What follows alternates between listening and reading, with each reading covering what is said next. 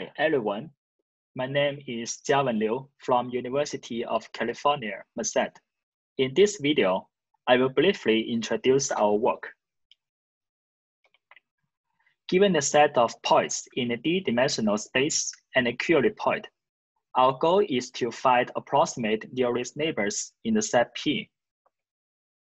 Approximate nearest neighbor algorithms can be applied for many applications.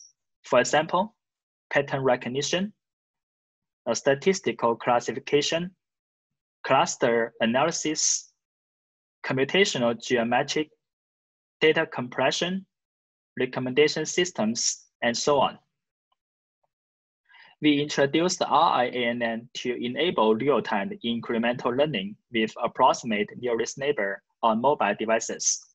First, we generate training data and indexing data to train the statistical prediction model in the offline stage.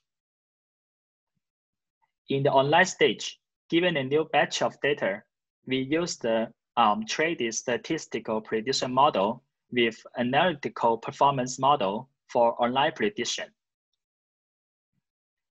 Given user requirements on indexing time, query time, and recall, we use simulated annealing to select optimal properties to meet the user requirements.